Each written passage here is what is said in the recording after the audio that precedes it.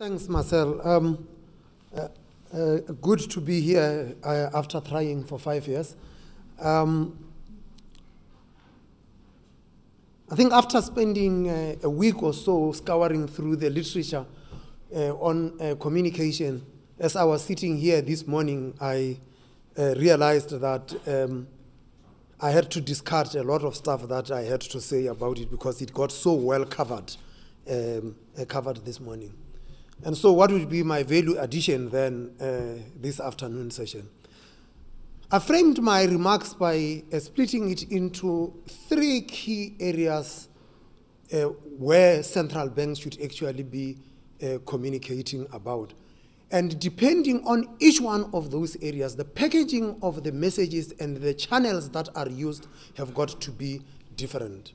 So, what are the three that I have divided? The first is communicating about the central bank, the institution, its role and its mandate. That's one set of issues. The second set of issues has to do with what all of us spend the whole morning talking about, which has to do with communicating the monetary policy actions and the rationale for those actions for the central bank.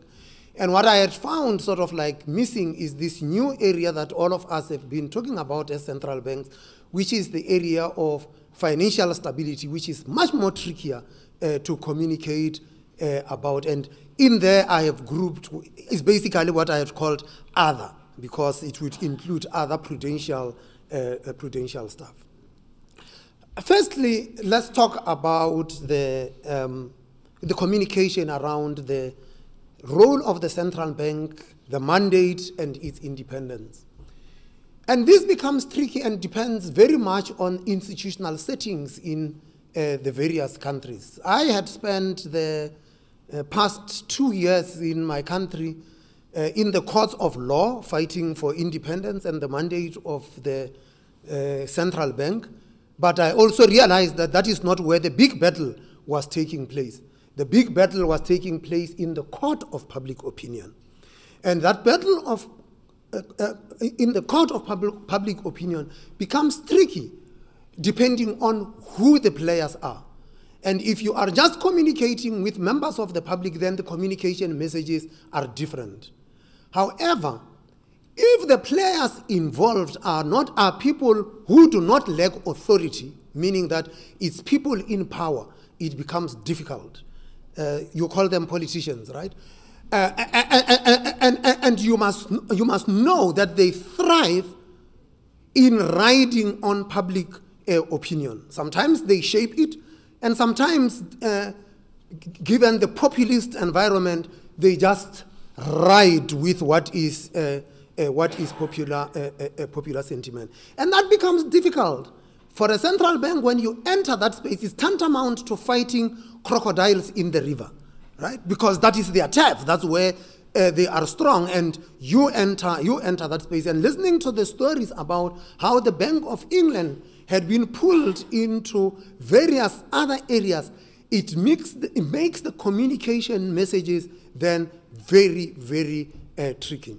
And so we had found ourselves having to construct a narrative that drew its strength from the constitution and in an environment in a country where there was a contestation about the role of institutions where institutions were being undermined and captured by vested interests. It meant that the communication then rode on the wave in society that said our institutions are under attack and thus our institutions must be uh, protected. So the communication message had to be uh, had to be different. But it also, in coming so, that our approach was we have got constitutional mandate and a constitutional independence that we are fighting for. But we also realized that independence have to be earned.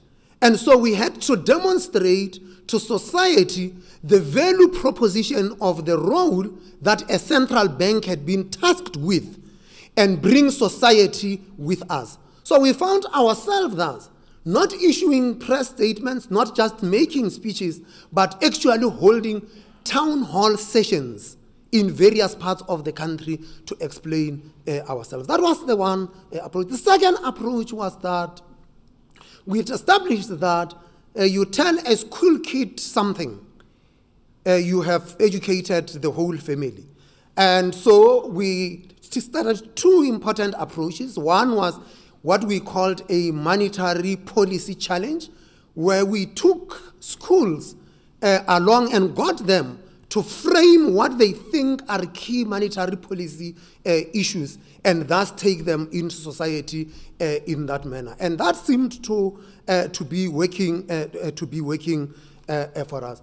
But then the issue of the independence of the central banks then means that we have got to demystify the institution and take the institution from its ivory towers and bring it to the level of society so that its independence is actually end with, um, and with society. And that links then to the issue of transparency. Then transparency becomes important, that society have got to have confidence in what we actually do as central banks and have confidence that what we have been tasked with as central banks is actually being executed in the interest of society. In other words, if you were to put this in difficult economic terms, that central banks as agents of society have got to be accounting to the society as the principal of the, uh, of the central bank, and that becomes uh, important. So the accountability mechanisms, thus, of reporting to parliament and to the elected representatives are thus not enough. We have got to be talking to the public in a language that the public uh, understands. And I think that the papers earlier uh, that talked about simplifying the language of central banks uh, uh becomes, uh, becomes important. And by the way, simplifying the language is not just getting away from technical. I can guarantee you that there is a whole industry in the financial markets that tries to decode central bank language. Why do we speak in such a manner that our language has to be decoded instead of being clear what it is that uh, we are doing? That brings me to the second uh, area, which is the area of monetary policy communication, which has to be segmented between communication to the professional market and communication to the rest of the stakeholders. And in the professional market, I'm talking communication with the market analysts, with the financial market players. That's one set uh, uh, of issues. But monetary policy is about a message to the price setters to actually establish central bank credibility that we would actually pursue uh, and maintain price uh, stability. So the message to the price setters is going to also have to be different. And what we had found is that the most difficult is communication with the wage setters. And again, it depends on the structure of labor markets in and institutions in particular societies. And in a country like South Africa, where you have got fairly strong and militant trade unions, that means that communication there uh, becomes um, a uh, a nuanced approach. You've got to understand the inner workings of trade unions so that you engage with them and you are able to pull them, uh, pull them along. It had not been an easy uh, thing. It helped that I used to be a trade unionist myself, so I, the engagement with the trade unions then becomes, uh, becomes, uh, uh, becomes different. So this comes then to the issue of the layering of, uh, of messaging and whether by layering the messages you lose things. And I think that Stephen put it very nicely this morning when he said that we have got to understand as economists, we like talking to ourselves. But if we ask ourselves communicating with the rest of society, how that comes, uh, that comes across. So the layering becomes, uh, becomes important. The trick, though, for central banks is in that layering, is the message going to be consistent? And that is where the skill of the communicators actually uh, comes, uh, uh, uh, comes into space. And let me conclude this section about monetary policy coordination, about um, the forward guidance that uh, uh, we were so much told about earlier on. It's not something that we do in South Africa because I actually think that forward guidance works in an environment where the direction of policy is fairly clear, like we expect to keep interest rates the same for a long period of time. Or if you are going in the other direction, you are going on a tightening cycle. But a, if you are a small open economy, it is not always that obvious because circumstances change that frequency. So forward guidance becomes much tricky. It is there, it is available as a tool. We've not quite uh, used it except in the following manner. We adopted a quarterly projection model with a, uh, an embedded interest rate path. And uh, it had made the job sometimes easier, sometimes very tricky. Easier in the sense that if the risks that we had identified either materialize or do not materialize, the path becomes, become, becomes very clear. It becomes tricky when you decide to deviate from that path and take a different stance because the recipients of the message tend to take that path as a commitment to what the monetary authority uh, is going to do. So striking that balance uh, becomes, uh, becomes an important. And let me conclude with what I termed the other. Financial stability is much tricky. There isn't one policy anchor, and you find yourself having to communicate so many different things. And sometimes the things that you communicate, if you are not careful, as an institution responsible for financial stability, you might become a source of instability if the communication messages are not uh, carefully worked out. And so, in our engagements with uh, various groups, we had found that over the past two years, people were more interested in talking about our role in banking supervision and in, regu in regulation. Why? Because there was a narrative in society about the role of banks and uh, the role that they play in society and whether they have been left too much to their own devices. But also, we had had a little bank that, two little banks that, uh, uh, that failed.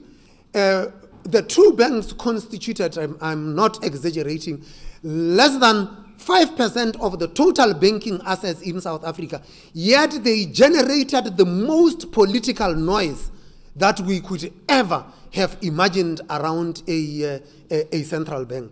And in those circumstances, then communication becomes a lot more of a, a, a challenge, especially if the banks involved have got connected lending uh, with the political elites.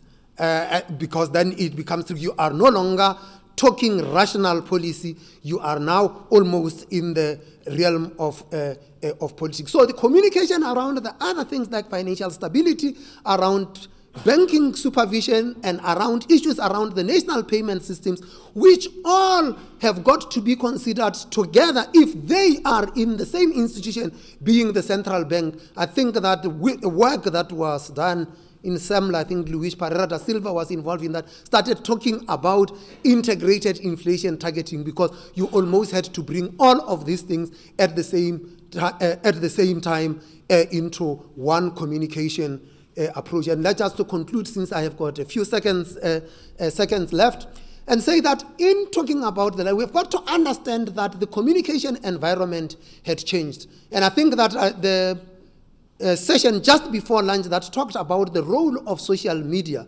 has become important. But we've got to be uh, very clear about it. The kinds of people you want to communicate to, the new generation, that is where you are going to find them.